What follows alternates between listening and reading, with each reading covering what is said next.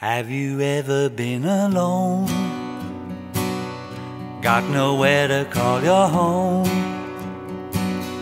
Have you ever lived in fear? Well, my friend, you're welcome here. You are welcome to my tears, my friend. You are welcome to my fears, my friend. You are Hank Wangford's the guy who who uh, who steps out on stage, who the people have paid money to see, and sings and writes those songs. And Sam Hutt is a is a doctor who lives in London, and was you know a bit of a name on the scene in the sixties. was brillig and the slithy toasted gyre and gimble in the Weibo mimsy were the borogoves and the mome rats out grey. Boeing Duveen was a character I created in 68. And because I'd been mates with the Pink Floyd, uh, there'd always been talk that I was going to do a Pink Floyd song because I was getting to the point where I was uh, going to do a single. In the end, I didn't do uh, one of Sid, Syd Barrett's songs, which had been the intention, but did um, a cover that I'd done of a Lewis Carroll poem. It was a great record, but people couldn't handle Boeing Duveen and the Ministry of was it the Ministry of S- and the Beautiful Soup. Boeing Duveen and the Beautiful Soup. Yeah, the Jabberwock. And you know, it was in a way it was sort of classic sort of hippie shit, wasn't it? Beware the Jabberwock, rats on the jaws that bite the claws that catch. Beware the chop chop bird that shot the. And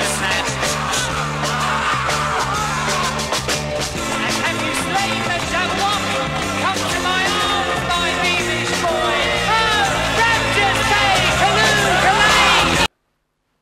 really of its time. The amazing thing is, between Boeing Duveen and an empty bottle of broken heart and you're still on my mind, between Boeing Duveen and high psychedelia and country music was 18 months.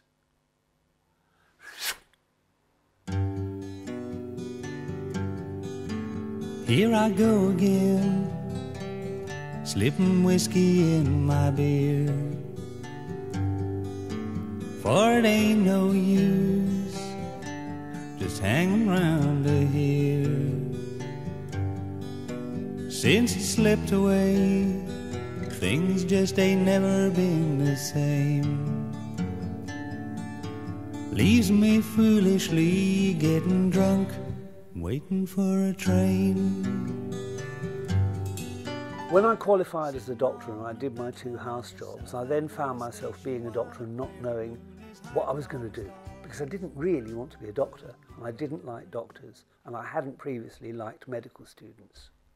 Then I discovered a friend who had a practice on Ladbroke Grove, uh, prescribing cannabis and looking after junkies, people coming off heroin. And I joined that, and uh, for a year, that was a hippie practice, a hippie clinic. And it was great, and it was really exciting because it was part of, you know, the freaks and the alternative society. And that was all very political at that time. Uh, and then when that got closed by the police, uh, because they didn't like it, it was a thorn in their flesh. You know, junkies being treated like human beings was not the way they did it. Uh, I then moved down to uh, Exhibition Road to South Ken and I started to work on my own. And because I wasn't on the National Health, uh, I had to become a private doctor. And because I'd been prescribing cannabis in the hippie clinic, I by that time had a clientele of people, a lot of whom worked in rock and roll, you know, from big bands like the Rolling Stones, like uh, The Who, like the Grateful Dead, uh, and so on and so on and so on. Lots of that. That had a lifespan of about 18 months. Uh, and then I, it got too sycophantic for me, and I, I left and went off to Canada and, and worked as a doctor in the middle of the prairies just to get away from that. But the great thing is, during being a rock and roll doctor, uh, I met Gram Parsons because that personally was the thing which actually completely changed my life and put me on a different trajectory. Because all the time I was being a rock and roll doctor, all the time I was being a medical student, all the time, all my life, I've always played music. and it's always been important to me. So I was kind of juggling that. What do I do? How do I do this? How do I do that? So meeting Graham was great because it focused me onto country music, which previously I had disrespected hugely. And then I loved it.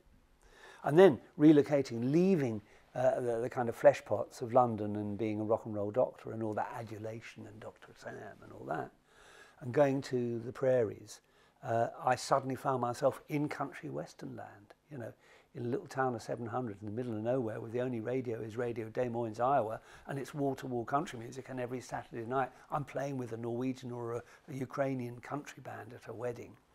You know, it just did the whole thing. So I'd had Gram in London, and then suddenly, bang, I'm living the dream. Now I got religion pretty late in life. At the time I broke up with my third ex-wife. Friend was a bottle, life was a lie and I couldn't believe in that pie in the sky or a big G. I couldn't believe. He's bigger than you and he's bigger than me. That's what they told me. He's better than a smoke or a cup of tea. I just, huh. He's the one, the one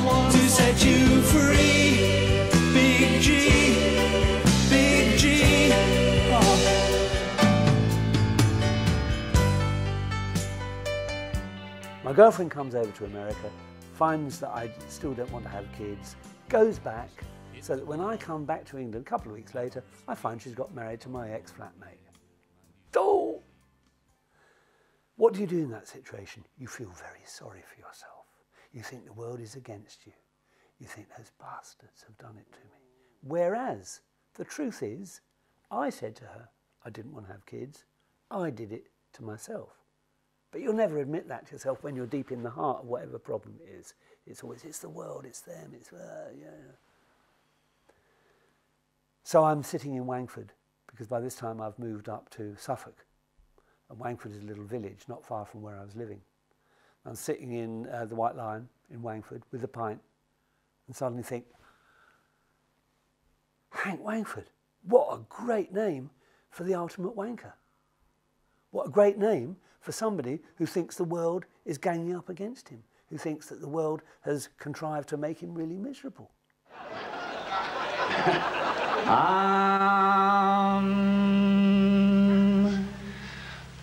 jogging with Jesus.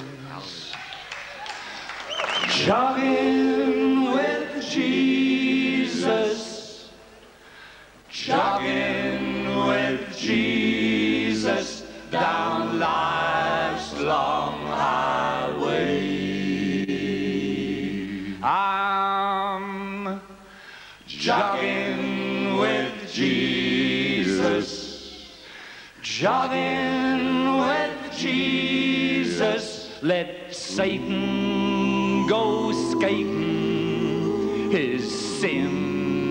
spinning away. Ha, Kryptonic wheels.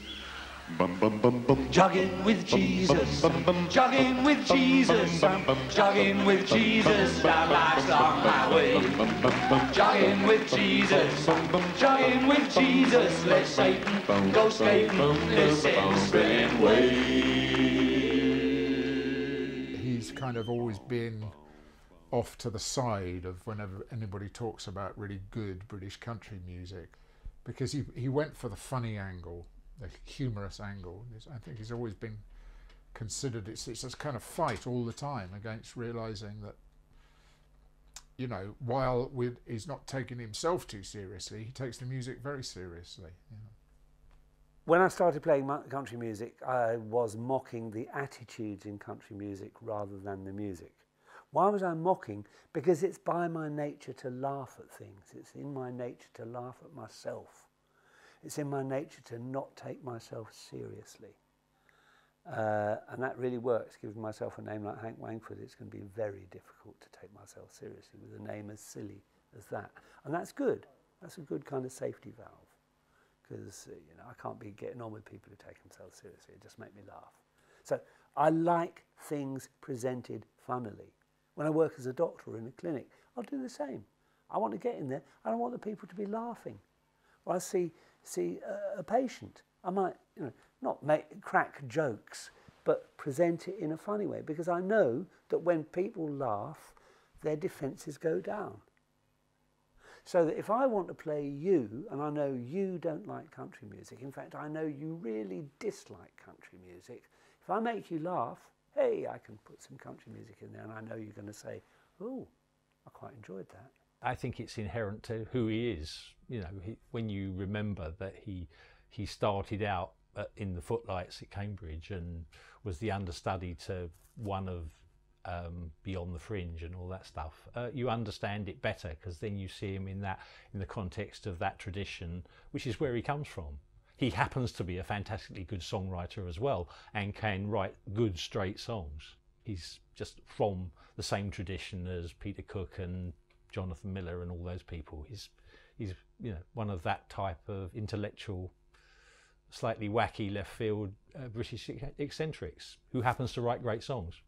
I think you use humour, whether it's absurdist or not, to be liked, and we all want to be liked. And when you're a skinny bloke in the 50s and you're not being able to pull because of the size of your biceps, and you're a son of communist parents, so you're liable to be beaten up at any time, which I was regularly beaten up in the playground for being a commie. Um, you used humour to get out of being beaten up. You used humour to get into being liked because you were essentially not liked. You weren't likable. And that's not good for a kid. Hank's early years are, are, are, are, odd to me. I mean, I heard that he was born in a fascist stately home, which is pretty odd for a you know a lad who was born of very serious communist parents, with a picture of Joseph Stalin over the mantelpiece. If you looked at pictures of Uncle Joe, he had a great image, and he looked really kindly. He looked avuncular. The moustache was good, the little smile playing at the corner of his lips was good. You knew you could trust Uncle Joe. And he was truly my uncle, you know, in my heart. Uh, and there was a picture of Uncle Joe down there in the kitchen on the wall. You might have had the Pope, I had Uncle Joe. There's no doubt that, that he had an extraordinary upbringing. I mean, his parents uh, were distinctly unusual, and um, their personal life was a strange one. And uh, how Hank uh, uh, emerged as unscathed as he has uh, I think is to his credit. I, I, mean, I don't think he is unscathed. The, the stories he told about his parents splitting up, you know, the invasion of Hungary split his parents up. You know, one was pro Stalin and one said no, you know, but I kind of find it very odd. I can't understand that.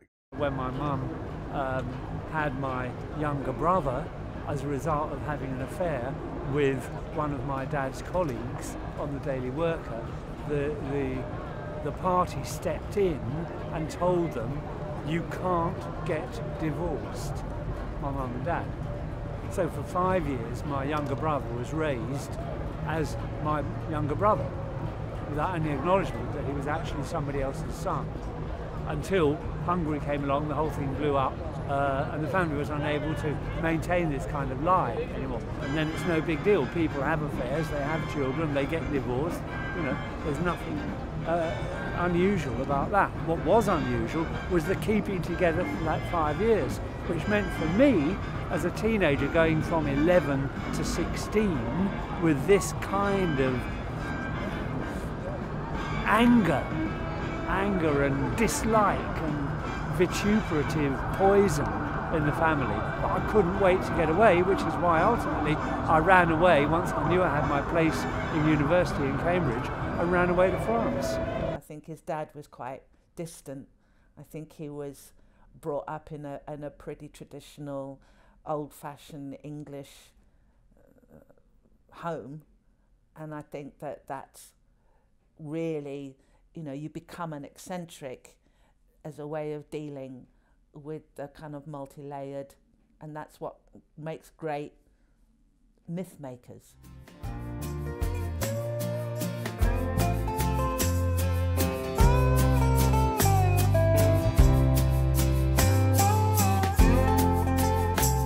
The other band members thought that the idea of a waltz album was a bit of a joke.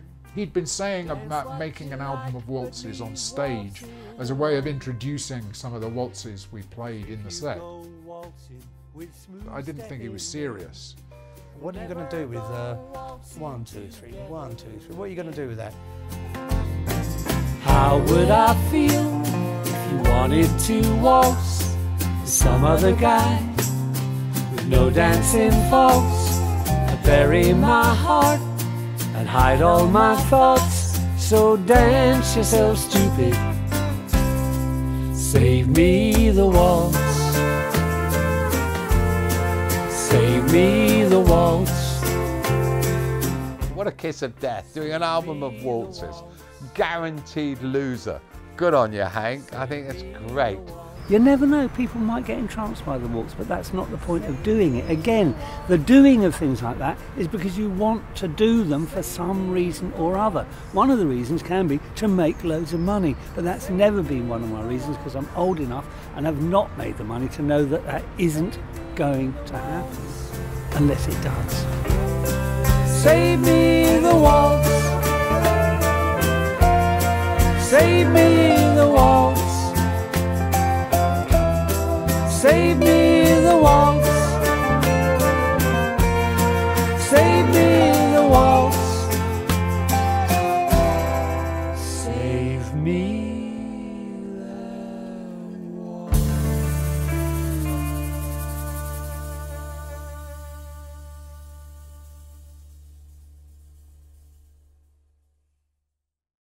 In fact, I'm thinking of making it a double album.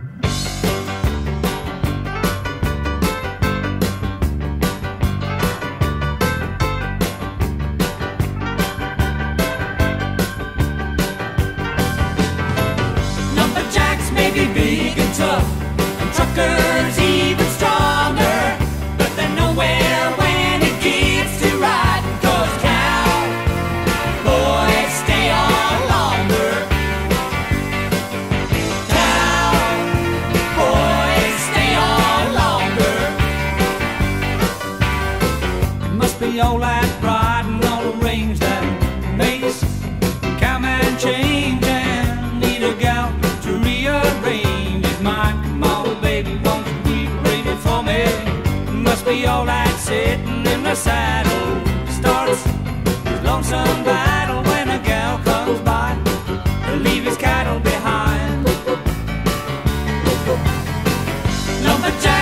Big and tough, and truckers